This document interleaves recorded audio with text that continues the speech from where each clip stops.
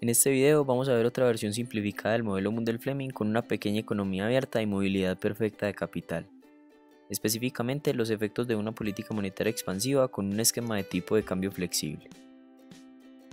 Como fue explicado en el capítulo pasado, gráficamente el modelo se plantearía de esta forma. La curva LM es una línea vertical porque el tipo de interés está determinado exógenamente, pues la economía es tan pequeña que no puede influir en él. Entonces hay un solo valor de nivel de renta que equilibra el mercado de dinero, por lo cual el tipo de interés nacional es igual al tipo de interés internacional. Ahora supongamos que el Banco Central aumenta la oferta monetaria, por lo tanto la curva LM asterisco se desplaza a la derecha hasta el punto 2. El nivel de renta aumenta a Y2 y el tipo de cambio baja. Como aumenta la oferta monetaria, el valor de la moneda cae, es decir, el tipo de interés.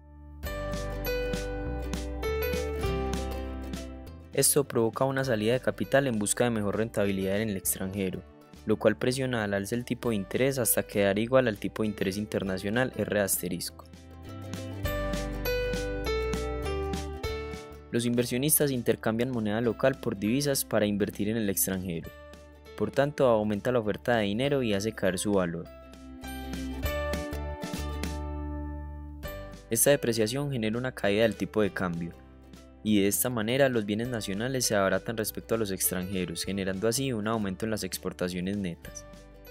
Por eso aumenta el nivel de renta de la economía, pues las exportaciones netas hacen parte de este. Como conclusión, la política monetaria expansiva, en este caso de una pequeña economía abierta, aumenta el nivel de renta por medio de la disminución en el tipo de cambio.